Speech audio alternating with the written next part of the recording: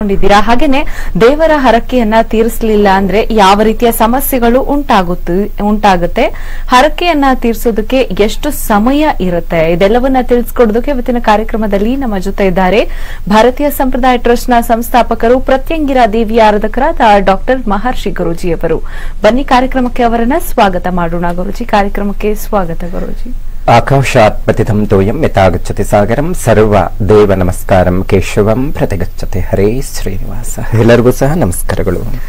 ಗುರುಜಿ ದೇವರ ಹರಕೆಯನ್ನ ತೀರಿಸಲಿಲ್ಲ ಅಂದ್ರೆ ಸಮಸ್ಯೆಗಳು ಉಂಟಾಗುತ್ತಾ? ಹೇಗೆ ಇದು ಅನ್ನೋದ್ರ ಬಗ್ಗೆ ತಿಳಿಸಿ. ನೋಡಿ ಸಾಮಾನ್ಯವಾಗಿ ಯಾವಾಗ್ಲೂ ಅಷ್ಟೇ ಈ ಜ್ಯೋತಿಷ್ಯ ಶಾಸ್ತ್ರದಲ್ಲಿ ಕೆಲವೊಂದು ವಿಚಾರಗಳು ಹೇಗೆ ಅಂತ ಹೇಳಿದ್ರೆ ಕೆಲವೊಂದು ಸಮಸ್ಯೆಗಳು ಬಗೆಹರಿಯದಂತ ಕೆಲವೊಂದು ಜಟಿಲವಾದಂತ ಸಮಸ್ಯೆಗಳಿದಾವೆ.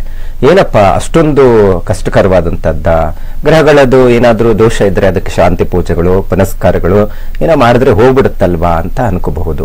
ನೋಡಿ, ಸಾಮಾನ್ಯವಾಗಿ ಈ ಅರಕೆ ವಿಚಾರದಲ್ಲಿ ಗ್ರಹಗಳ ಫಲ ಹೇಗೆ ಕೆಲಸ ಮಾಡುತ್ತೆ ಅನ್ನುವಂತ ಒಂದು ವಿಚಾರ ಸಾಮಾನ್ಯವಾಗಿ ಈ ಮನೆ ಕಟ್ಟುವಂಥ ವಿಚಾರ. ಬಹಳ ಎಲ್ಲರಿಗೂ ಒಂದು ಆಸೆ ಇರುತ್ತೆ. ಜೀವನದಲ್ಲಿ ನಾವೊಂದು ಸುಂದರವಾದಂತ ಒಂದು ಮನೆ ಕಟ್ಟಬೇಕು ಅಂತ. ಬಹಳ ಜ ಜಾತಕಗಳಲ್ಲಿ ಪರಿಶೀಲನೆ ಮಾಡಿದಾಗ ಕೆಲವೊಂದು ಸರ್ವೆ ಮಾಡ್ತಾ ಇರ್ತೀನಿ. ಯೋಗಗಳು ಕೆಲಸ ಹೇಗೆ ಮಾಡುತ್ತೆ, ಆ ಗ್ರಹಗಳ ಫಲ ಹೇಗಿರುತ್ತೆ, ಮನುಷ್ಯನ ಮೇಲೆ ಗ್ರಹಗಳ ವರ್ಷ ಫಲ ಹೇಗೆ ಕೆಲಸ ಮಾಡುತ್ತೆ, ಈ ರಾಶಿ ಮೇಲೆ ಆ ಪ್ರಭಾವ ಇದ್ದಾಗ ಆ ವ್ಯಕ್ತಿಯ ವ್ಯಕ್ತಿತ್ವ ಹೇಗಿರುತ್ತೆ, ಅವನ ಗುಣಲಕ್ಷಣಗಳು ಹೇಗಿರುತ್ತೆ, ಅವನ ವೃತ್ತಿ ಹೇಗಿರುತ್ತೆ, ಕೆಲಸದಲ್ಲಿ ಅಭಿವೃದ್ಧಿ ಇರುತ್ತೋ ಇಲ್ಲವೋ, ಮದುವೆ ವಿಚಾರ, ಮಕ್ಕಳ ವಿಚಾರ, ಇವೆಲ್ಲವನ್ನ ಲೆಕ್ಕಾಚಾರ ಮಾಡಬಹುದು ಈ ಜ್ಯೋತಿಷ್ಯ ಶಾಸ್ತ್ರದಲ್ಲಿ. ಆದ್ರೆ ಕೆಲವೊಂದು ವಿಚಾರಗಳು ಹೇಗೆ ತೊಂದರೆಗಳು ಅದು ಬಗೆಹರಿಯಕ್ಕಾಗೋದಿಲ್ಲ ಅಂತ ಹೇಳಿದ್ರೆ, ಯೋಗ ಅನ್ನೋದು ಬಹಳ ಹುಟ್ಟದಾಗೆ ಅವನ ಜಾತಕದಲ್ಲಿ ಬಂದಿರುತ್ತೆ. ನೋಡಪ್ಪ, ನಿನಗೆ ರಾಜಯೋಗ ಬಹಳ ಉತ್ತಮವಾದಂತಹ ಯೋಗ. ಆ ಯೋಗ ಎಷ್ಟು ಯೋಗಗಳಿದೆ? ಎಲ್ಲ ಹೇಳ್ತಾ ಇರ್ತಾರೆ. ಅಂದ್ರೆ ಯಾವಾಗ ಯೋಗ ಫಲ ಕೊಡುತ್ತೆ? ಯಾಕೆ ಯೋಗ ಇದ್ರೂ ಫಲ ಕೊಡ್ತಾ ಇಲ್ಲ ಅನ್ನುವಂಥ ಲೆಕ್ಕಾಚಾರವನ್ನು ನಾವು ನೋಡೋಕ್ಕೋದ್ರೆ ನಾನು ಈ, ಈ- ನಡುವೆ ನಾಲ್ಕೈದು ಜಾತಕಗಳ ಬಹಳ ಜಟಿಲವಾದಂಥ ಜಾತಕಗಳು ಬಂದಿರುವಂಥದ್ದು ವಿಚಾರ ಏನಪ್ಪ ಅಂತ ಹೇಳಿದ್ರೆ ಆ ವ್ಯಕ್ತಿಗೆ ಬಹಳ ಅಭಿವೃದ್ಧಿ ಆಗುವಂಥದ್ದು, ರಾಜಯೋಗ ಇದೆ, ಮತ್ತೆ ಅವನಿಗೆ ಮನೆ ಸ್ವಂತ ಒಂದು ಮನೆ, ದೊಡ್ಡ ಬಂಗ್ಲೆನೇ ಕಟ್ತಾನೆ ಅನ್ನುವಂಥದ್ದು ಯೋಗ ಇದೆ. ಆದ್ರೆ ಅವನ್ ಮನೇನೆ ಕಟ್ತಾ ಇಲ್ಲ, ದುಡ್ಡಿದೆ, ಏನು ಅವನ ಕೈ ಬಾಯಿ ಹತ್ತಾ ಇಲ್ಲ, ಅಭಿವೃದ್ಧಿ ಏನು ಅಲ್ಲಿಗಲ್ಲಿಗೆ ಇದೆ, ದುಡ್ಡೇನೋ ಮನೆ ಕಟ್ಟೋದಕ್ಕೆ ಒಂದ್ ಸ್ವಲ್ಪ ದುಡ್ಡು ಇಟ್ಕೊಂಡಿದ್ದಾನೆ, ಹಾಕ್ತಾ ಇಲ್ಲ, ಸೈಟು ಅವನಿಗೆ ಒಳ್ಳೆ ಕಡೆ ಸಿಗ್ತಾ ಇಲ್ಲ.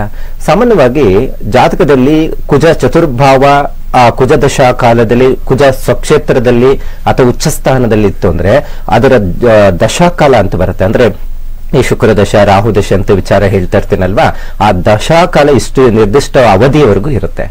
ಈ ಕುಜದಶ ಬಂದಾಗ ಆತ ಏನೇ ಆಗ್ಲಿ, ಒಂದು ಸೈಟ್ ಆದರೂ ಖರೀದಿ ಮಾಡ್ತಾನೆ.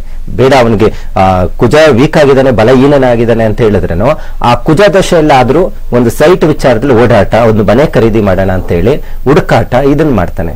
ಆದ್ರೆ ಈ ಕಾಂಬಿನೇಷನ್ಸ್ ಹೇಗೆ ಅಂದ್ರೆ ಯೋಗ ಇದ್ರೂ ಫಲ ಕೊಡ್ತಾ ಇಲ್ಲ ಅಂತ ಹೇಳಿದ್ರೆ ಈ ಕೆಲವೊಂದು ಪ್ರಶ್ನೆಶಾಸ್ತ್ರಗಳಲ್ಲಿ ತಿಳ್ಕೊಳ್ಬಹುದು. ಈ ಅರಕೆ ಅನ್ನುವಂಥದ್ದು ಏನಾದ್ರೂ ಇತ್ತು ಅಂದ್ರೆ ಯಾವೊಂದು ಕೆಲಸದಲ್ಲಿ ಕೈ ಹಾಕಿದ್ರೂ ಆಗಲ್ಲ, ಅದು ಪ್ರಮುಖವಾಗಿ ಮನೆ, ಸ್ವಗೃಹ, ಅಂದ್ರೆ ಒಂದು ಸ್ವಂತ ಮನೆ ಖರೀದಿ ಮಾಡಲಿಕ್ಕೆ ದುಡ್ಡಿದ್ರು.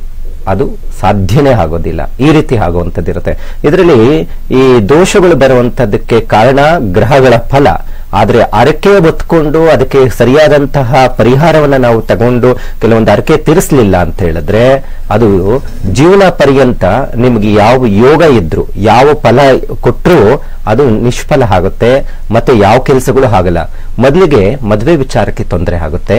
ಎರಡನೇದು ಇವತ್ತು ನೋಡಿ ಮದುವೆ ಆಗಿ ನಾಲ್ಕೈದು ವರ್ಷಗಳಾಗಿದೆ. ಕೆಲವರು ಅರಕೆ ಹೊತ್ಕೊಬಿಟ್ಟಿರ್ತಾರೆ. ಮಗು ಆದ್ರೆ ಆ, ಪೂಜೆ ಈ ಪೂಜೆ ಮಾಡ್ತೀನಿ. ಮಕ್ಕಳ ಅಭಿವೃದ್ಧಿನೇ ಇರೋದಿಲ್ಲ ಅವ್ರಿಗೆ ಕೆಲವೊಂದು ಮಕ್ಕಳು ಜನನ ಹಾಗೆ ಒಂದು ಎರಡು ಮೂರು ವರ್ಷಕ್ಕೇನೆ ಆರ್ಕೆ ತೀರಿಸ್ತಿಲ್ಲ ಅಂತ ಹೇಳಿದಾಗ ಮಾತಾಡುವಂಥದ್ದು ಸರಿಯಾಗಿ ಬರಲ್ಲ ವಾಕ್ಚಾತುರ್ಯ ಇರೋದಿಲ್ಲ. ಇವೆಲ್ಲವೂ ಈ ಅರಕೆಯ ಪ್ರಭಾವ, ಮತ್ತೆ ಪದೇ ಪದೇ ಅನಾರೋಗ್ಯ ಉಂಟಾಗುತ್ತೆ. ಮದುವೆ ಮುಂಚಿತವಾಗಿ ಮದುವೆ ಆದ್ರೆ ಸಾಕಪ್ಪ ಅಂತ ಏನು ಎಲ್ಲ ಇದ್ದ ದೇವರುಗಳಿಗೆಲ್ಲ ಹರಕೆ ಹೊತ್ತು ಬಿಟ್ಟಿರ್ತಾರೆ ಆ ಅರಕೆ ತೀರ್ಸಲ್ಲ. ಅವಾಗ ಏನಾಗುತ್ತೆ? ಈ ರೀತಿ ಗಂಡ ಹೆಂಡತಿ ನಡುವೆ ಜಗಳಗಳು ಬರುತ್ತೆ. ಅಲ್ಲಿ ಗಂಡ ಹೆಂಡತಿ ಜೊತೆದಲ್ಲಿ ನಾವು ನೋಡಕ್ ಹೋದ್ರೆ ಒಂದು ಗ್ರಹ ಮೈತ್ರಕೂಟ ಸರಿ ಇಲ್ದಿದ್ದಾಗ, ಅಂದ್ರೆ ಗ್ರಹ ಮೈತ್ರಕೂಟ ಏನು? ರಾಶಿಗಳ ಹೊಂದಾಣಿಕೆ. ಈ ರಾಶಿಗೂ, ಆ ರಾಶಿಗೂ ಆ ನಕ್ಷತ್ರ ಕಾಂಬಿನೇಷನ್ ಚೆನ್ನಾಗಿರುತ್ತಾ? ಇವ್ರ ಬಾಂಧವ್ಯತೆ ಹೇಗಿರುತ್ತೆ? ಸೊ ಇದನ್ನ ಲೆಕ್ಕಾಚಾರ ಮಾಡ್ಬೋದು. ಅಥವಾ ಸಪ್ತಮ ಸ್ಥಾನದಲ್ಲಿ ಏನಾದರೂ ಸಪ್ತಮಾಧಿಪತಿ ಪಾಪಗ್ರಹಗಳ ಜೊತೆ ಇದ್ದಾಗ, ಅಥವಾ ಕುಜ ಸಪ್ತಮ ಅಥವಾ ಅಷ್ಟಮದಲ್ಲಿ ಏನಾದರೂ ಇದ್ದಾಗ ಅಥವಾ ಕಳತ್ರ ದೋಷ ಇದ್ದಾಗ, ಅಥವಾ ಸ್ತ್ರೀ ದೋಷ ಇದ್ದಾಗ, ವೈವಾಹಿಕ ಜೀವನದಲ್ಲಿ ಸರ್ವಸಾಮಾನ್ಯವಾಗಿ ಹೊಂದಾಣಿಕೆ ಇರಲ್ಲ ಅಂತ ಲೆಕ್ಕಾಚಾರ ಮಾಡ್ಬಿಡ್ಬೋದು ಜ್ಯೋತಿಷ್ಯದಲ್ಲಿ. ಆದ್ರೆ ಇಲ್ಲಿ ಗ್ರಹ ಮೈತ್ರಕೂಟ ಚೆನ್ನಾಗಿದೆ, ಸಪ್ತಮಾಧಿಪತಿ ಚೆನ್ನಾಗಿದ್ದಾನೆ, ಸ್ವಕ್ಷೇತ್ರದಲ್ಲಿ ಇದ್ದಾನೆ, ಯೋಗ ಫಲ ಚೆನ್ನಾಗಿದೆ, ಆದ್ರೂ ಗಂಡ ಹೆಂಡತಿ ಜಗಳ ಆಡ್ತಾ ಇದ್ದಾನೆ. ಯಾಕಂತ ಹೇಳಿದ್ರೆ, ಮದುವೆ ಮುಂಚಿತವಾಗಿ ಮಾಡಿಕೊಂಡಂತಹ ಹರಕೆ ತೀರಿಸಿಲ್ಲ ಅಂದ್ರೆ ವಿಚ್ಛೇದನೆ ಹೊರಗು ಹೋಗುತ್ತೆ ಅನ್ನುವಂಥದ್ದನ್ನ ಈ ಕೆಲವೊಂದು ವಿಚಾರಗಳಲ್ಲಿ ಆರ್ಕೆ ವಿಚಾರಗಳಲ್ಲಿ ನಾವು ನೋಡುವಂತದ್ದಾಗಿದೆ ಹಾಗಾಗಿ ಬಹಳ ಎಚ್ಚರಿಕೆ ಇರಬೇಕು. ಅರಕೆ ಒತ್ತಬೇಕಾದ್ರೇನು ಅದನ್ನ ತೀರ್ಸಕ್ಕಾಗುತ್ತವ ಅನ್ನುವಂಥದ್ದನ್ನ ತಿಳ್ಕೋಬೇಕು. ಯಾ- ಚಿಕ್ಕ ಪುಟ್ಟ ವಿಚಾರಕ್ಕೆ ಅದೇನ್ ದೊಡ್ಡ ವಿಚಾರ ಅಲ್ಲ ಚಿಕ್ಕಪುಟ್ಟ ವಿಚಾರಕ್ಕೂ ಪದೇ ಪದೇ ಹರಕೆ ಇಟ್ಕೊಂತ ಇರ್ತಾರೆ. ಆ ರೀತಿ ಏನಾದ್ರೂ ಕುಟುಂಬದಲ್ಲಿದ್ರೇನು ಈ ರೀತಿ ಸಮಸ್ಯೆಗಳು ಉಂಟಾಗ್ಲಿಕ್ಕೆ ಸಾಧ್ಯ ಇರುತ್ತೆ. ಓಕೆ ಗುರುಜಿ ಮತ್ತೆ ಮಾಡ್ಕೊಂಡ ನಂತರದಲ್ಲಿ ಏನಾದ್ರೂ ಸಮಯ ಇರುತ್ತಾ? ಇಷ್ಟೇ ಸಮಯದ ಒಳಗೆ ಹರಕೆಯನ್ನ ತೀರಿಸಬೇಕು ಅಥವಾ ಹರಕೆಯನ್ನ ತೀರಿಸೋದಕ್ಕೆ ಇಷ್ಟು ಸಮಯ ಇದೆ ಅಂತ? ನೋಡಿ ಯಾವುದೇ ಒಂದು ಹರಕೆಯನ್ನ ಹೊತ್ತಾದಾಗ ಅದು ಸಂಪೂರ್ಣವಾದಂತ ಫಲ. ಈಗ ಮದುವೆ ಆಗ್ತಾ ಇಲ್ಲ ಅನ್ನುವಂಥದ್ದು. ಯಾವುದೋ ನಿಮ್ಮ ಮನೆ ದೇವರಿಗೋ ಅಥವಾ ಯಾವುದೋ ದೇವಿ ದೇವಸ್ಥಾನ, ಮನೆ ಊರಲ್ಲಿ ಇರುವಂತದ್ದು ಬೇಗ ನನ್ನ ಮಗಳಿಗೆ ಮದುವೆ ಆಗ್ಬಿಟ್ರೆ ಸಾಕಪ್ಪ, ಒಳ್ಳೆ ಕಡೆ ವರ ಪ್ರಾಪ್ತಿ ಅದೇನಾದರೂ ಈಡೇರಿತ್ತು ಅಂತ ಹೇಳಿದ್ರೆ ವರ್ಷದ ಒಳಗಡೆ ಅರ್ಕೆಯನ್ನು ತೀರಿಸಬೇಕು ಅಂತ ಹೇಳುತ್ತೆ ಶಾಸ್ತ್ರದಲ್ಲಿ. ಅವಾಗ ಏನಾಗುತ್ತೆ, ವರ್ಷ ಆದ್ರೂ ತೀರಿಸ್ತಾ ಇಲ್ಲ ಅಂದ್ರೆ, ವರ್ಷಾನುಗಟ್ಲೆ ಹಂಗೆ ಹೋಯ್ತು ಅಂದ್ರೆ, ಆ ಅರ್ಕೆ ಹೊತ್ತಂತಹವ್ರಿಗೆ ಈ ಯಾರಿಗೆ ಒಳ್ಳೇದಾಗ್ಲಿ ಅಂತ ಮಾಡಿರ್ತಿರೋ ಮಗಳಿಗೋ ಅಥವಾ ಮಗನಿಗೋ ಇನ್ಯಾವುದೋ ಒಂದು ಕೆಲಸದ ವಿಚಾರದಲ್ಲಿ ಅದರಲ್ಲಿ ನಾನಾ ರೀತಿಯಾದಂಥ ತೊಂದರೆಗಳು ಬರುತ್ತೆ. ಈಗ ವ್ಯಾಪಾರದಲ್ಲಿ ಅಷ್ಟೇ, ಎಷ್ಟೋ ಜನ ಬಿಸ್ನೆಸ್ ಮಾಡ್ತಾ ಇರ್ತಾರೆ. ಅಯ್ಯೋ ಬಿಸ್ನೆಸ್ ಅಲ್ಲಿ ಲಾಸ್ ಆಗ್ತಾ ಇದೆ. ದೇವ್ರಿಗೊಂದು ಮುಡುಪು ಕಟ್ಟಿಟ್ಬಿಡೋಣ ಮಾಡ್ಕೊಂಬಿಡೋಣ ಮಾಡ್ಕೊಂಡ್ಬಿಡೋಣ ಸರೋಗುತ್ತೆ ಆಟೋಮೆಟಿಕ್ ಬಿಸ್ನೆಸ್ ಬಹಳ ಸಕ್ಸಸ್ ಆಗುತ್ತೆ, ಒಳ್ಳೆ ಇಂಪ್ರೂವ್ಮೆಂಟ್ ಆಗುತ್ತೆ. ಆದ್ರೆ ಆ ಅರ್ಕೆ ತೀರ್ಸಕ್ ಆಗೋದಿಲ್ಲ. ಅದು ಚಿಕ್ಕದಾಗಬಹುದು ಅಥವಾ ದೊಡ್ಡದಾಗಬಹುದು, ಅದು ನಿಮಗೆ ಶಕ್ತಿ ಅನುಸಾರವಾಗಿ ಮಾಡ್ಕೊಳ್ಳುವಂತ ಅರ್ಕೆ ಆಗಿರ್ಬೇಕಾಗುತ್ತೆ.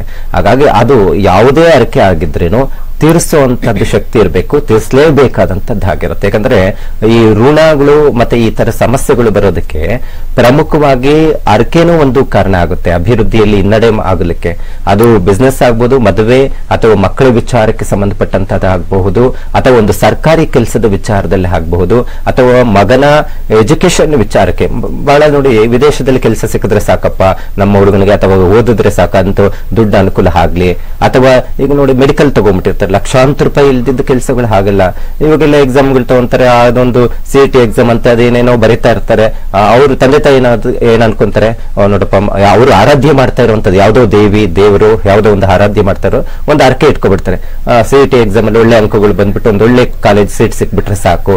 ಈ ತರ ಅರ್ಕೆ ಒತ್ಕೊಂಡಾಗ ನಾನು ಇದೇನೋ ಪೂಜೆ ಮಾಡಿಸ್ತೀನಿ, ಅಥವಾ ಇನ್ನೇನೋ ಮಾಡಿಸ್ತೀನಿ. ಅದು ಏನು ಆಗುತ್ತೆ, ತೀರಿಸ್ಲಿಲ್ಲ ಅಂದ್ರೆ ಆ ಮಗು ಎಜುಕೇಶನ್ಗೂ ತೊಂದರೆ ಆಗುತ್ತೆ. ಸೀಟ್ ಸಿಕ್ಕಿದ್ರೇನು ಅಲ್ಲಿ ಆ ಮಗುಗೆ ಅರ್ಧಂಬರ್ಧ ಮಾಡ್ಕೊಳ್ಳುವಂಥದ್ದು ಈ ರೀತಿ ಆಗುವಂಥದ್ದು ಇರುತ್ತೆ. ಹಾಗಾಗಿ ಯಾವುದೇ ಹರಕೆಯನ್ನು ಮಾಡಿದ್ರೂ ನೆನಪಿಟ್ಕೊಂಡು ಅದನ್ನು ತೀರಿಸುವಂತಹ ಒಂದು ರೀತಿಯಲ್ಲಿ ಮಾಡ್ಕೋಬೇಕು. ಎಷ್ಟೋ ಜನ ಈಗ ನೋಡಿ ತಾತನೋ ಅಥವಾ ತಂದೆನೋ ಅದಕ್ಕೆ ಓದ್ತಿರ್ತಾರೆ ಮರ್ತೇ ಬಿಟ್ಟಿರ್ತಾರೆ. ಆ ಮರ್ತೋದಂತ ಕಾರಣಕ್ಕೆ ನಾನಾ ರೀತಿಯಾದಂತ ಸಮಸ್ಯೆಗಳು, ನಾನಾ ರೀತಿಯಾದಂತ ತೊಂದರೆಗಳಿಗೆ ಒಳಗಾಗ್ತಾ ಇರ್ತಾರೆ. ಜಾತಕಗಳು ನೋಡಿದ್ರೆ, ಏ, ಎಲ್ಲ ಚೆನ್ನಾಗಿದೆ, ರಾಜಯೋಗ ಹೋಗಪ್ಪ ನಿನ್ಗೇನು ಅಂತ ಹೇಳ್ತಾರೆ. ಅಲ್ಲಿ ನೋಡಿದ್ರೆ ಅವನ ಪರಿಸ್ಥಿತಿ ನೋಡಕ್ ಹೋದ್ರೆ ಯಾವ ರಾಜಯೋಗನೂ ಇಲ್ಲ, ಯಾವ ಶುಕ್ರ ದೇಶ ಬಂದ್ರೇನೋ ಏನು ಪ್ರಯೋಜನ ಆಗಲ್ಲ. ಅದಕ್ಕೆ ಕಂಪಲ್ಸರಿ ಅರಕೆ ವಿಚಾರದಲ್ಲಿ ಬಹಳ ಏನು ಅನ್ಕೊಂಡಿರ್ತಾರೋ, ಸಂಕಲ್ಪ ಮಾಡಿರ್ತಾರೋ, ಅದನ್ನ ಸರಳವಾಗಾದ್ರೂ ತೀರಿಸುವಂತ ವ್ಯವಸ್ಥೆಯನ್ನ ಮಾಡಬೇಕು. ಇಲ್ಲ ಅಂತ ಹೇಳಿದ್ರೆ ಈ ರೀತಿ ಅವರ ಏನು ಅರ್ಕೆಯನ್ನು ಹೊತ್ತಿರ್ತಾರೆ ಮಗಳ ಎಜುಕೇಶನ್ಗೋಸ್ಕರನೋ ಅಥವಾ ಕೆಲಸದ ವಿಚಾರದಲ್ಲೋ ತೊಂದರೆಗಳು ತಾಪತ್ರೆಗಳು ಅದು ಕೆಲಸನೂ ಕಳ್ಕೊಂತಾರೆ ಅಥವಾ ಎಜುಕೇಶನ್ ವಿಚಾರದಲ್ಲಿ ಅರ್ಕೆ ಹೊತ್ಕೊಂಡ್ರೇನೋ ಆ ಎಜುಕೇಶನ್ ಅರ್ಧಂಬರ್ಧ ಮಾಡ್ಕೊಳ್ಳೋದಕ್ಕೆ ತೊಂದರೆಗಳು ಸಿಕ್ಕಾಕೊಳ್ಳುವಂಥದ್ದು ಇರುತ್ತೆ. ಓಕೆ ಗುರುಜಿ ಇವತ್ತಿನ ನಮ್ಮ ಕಾರ್ಯಕ್ರಮದಲ್ಲಿ ಸಾಕಷ್ಟು ಮಾಹಿತಿಯನ್ನು ತಿಳಿಸ್ಕೊಟ್ಟಿದ್ದೀರಾ. ಧನ್ಯವಾದಗಳು. ಹರೇ ಶ್ರೀನಿವಾಸ.